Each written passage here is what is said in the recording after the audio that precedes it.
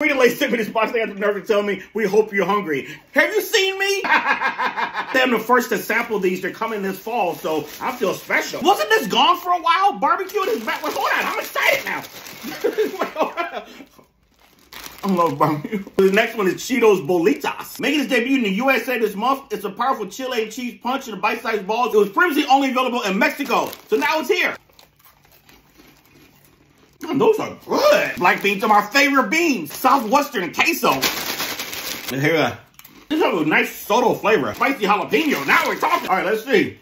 Maybe I'm used to spice. It's not enough spice for me. They're really good. Let me cleanse the palate for this one. I eat popcorners all the time. Frito-Lay, send me a case of those sea salt ones. That's all I eat. And now they got cinnamon crunch. Oh my God. Mm. Oh my, this bag gonna be gone today. How is it so good? It's like dessert popcorn in a chip. I'll see y'all later. You know what's about to happen.